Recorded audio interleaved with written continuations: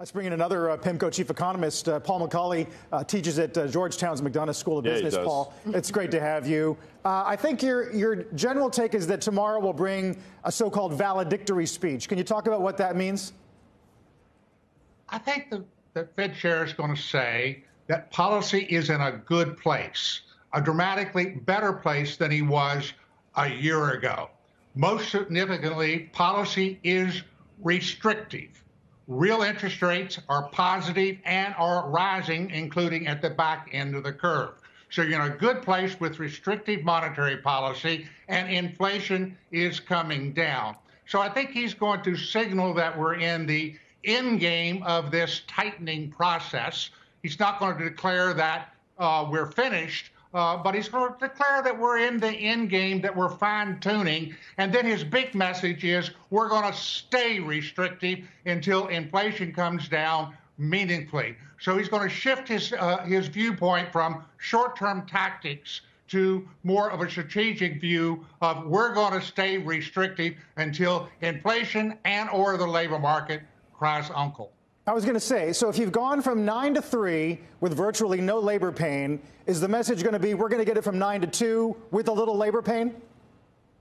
Yeah, I think that's fair. I don't think he's going to pound the table about that. He, he's going to reinforce the notion that two is still very much the target. He's going to reinforce the notion he wants to see more softening in the labor market. Uh, so, yeah, I think uh, uh, your take on it is is pretty good. Paul, Georgetown's lucky to have Professor... you. We've said that. Let me, but I'll say this. There's this belief, I think it's misguided, that beginning of next year, February of next year, we're talking about rate cuts. Under what set of circumstances are there rate cuts in the beginning of next year? And if there are, in my opinion, it's because something broke. I don't think you can get too early in the year for a cut on the inflation side of things. I think you'd have to get there on unexpected weakness in the real economy and particularly unexpected weakness in the labor market.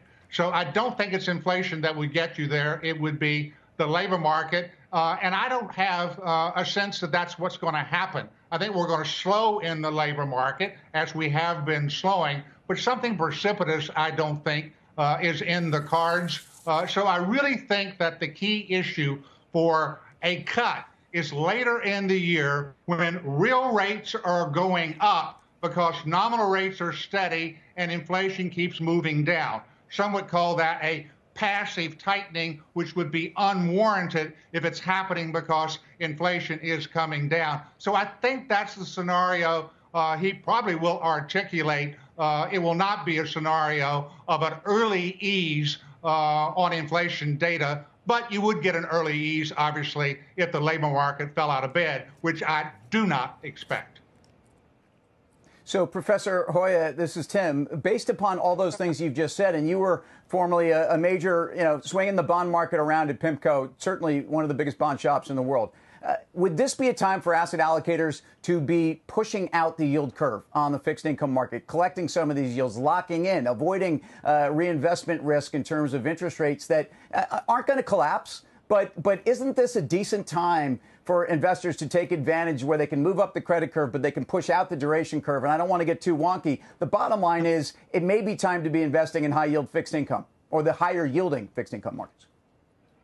I'm not so sure about increasing duration. I would be around neutral relative to a benchmark. Uh, but to be wonk with you, I think the bigger issue is that a barbell of cash and effectively the very long end has been very successful, as it always is in a tightening campaign. And I think it's we're coming to the point where you need to sell barbells into bullets and focus your duration exposure in the belly of the curve between three and seven years.